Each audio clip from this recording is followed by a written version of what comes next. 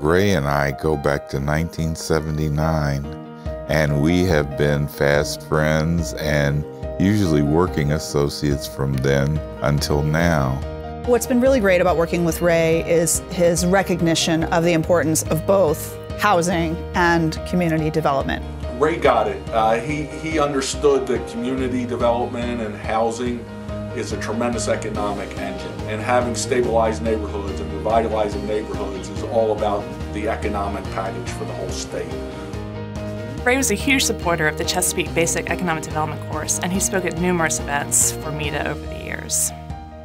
I can't think of a MEDA annual conference that didn't involve a tour of some place or other supported by Ray and his staff.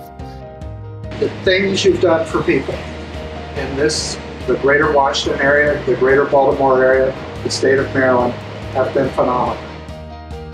Ray was always giving of his time and his uh, professional insights.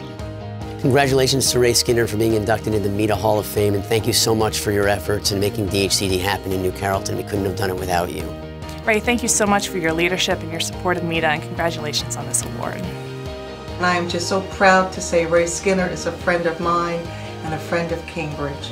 Congratulations, Ray.